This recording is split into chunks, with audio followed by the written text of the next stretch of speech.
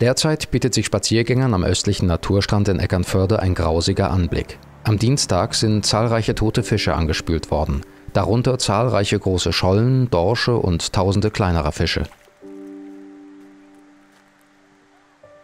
Was ist hier passiert, denke ich mir. Keine Ahnung. Tut mir total leid. Echt schrecklich.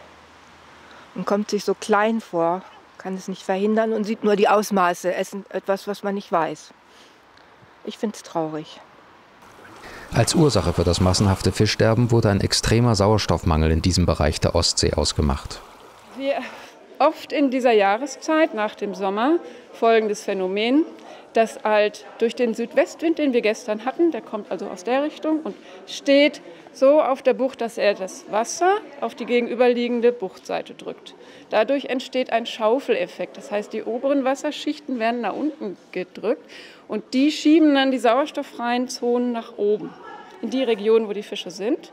Dann haben die akute Atemnot.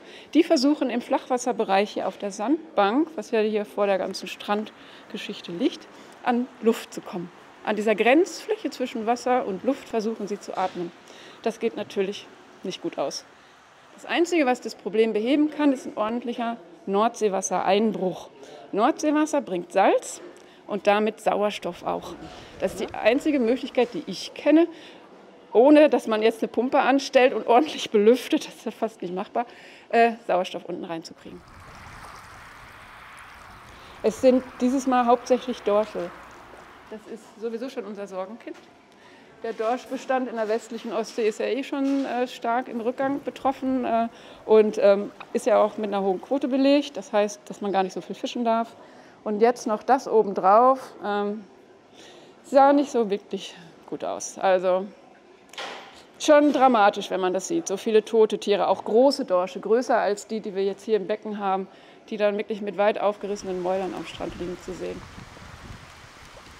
Also die Fischbrut, ne? von Schwimmgrundel an, über Kleinfischarten wie eben Seestichling, Klippenbarsche, die sind ja alle mit da drin. Nicht nur die sowieso ins Auge fallenden großen Dorsche, auch die etwas kleineren dann und die Plattfische, die dann auch mit dabei sind, sondern eben auch wirklich die Tausende an Jungfisch, die jetzt da wie Sand am Strand liegen.